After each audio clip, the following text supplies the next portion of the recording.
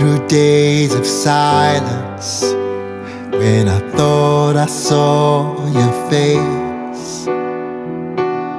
It happens all the time now, it's how I fill my empty days. The dark days are coming, and I know there's no escape. I didn't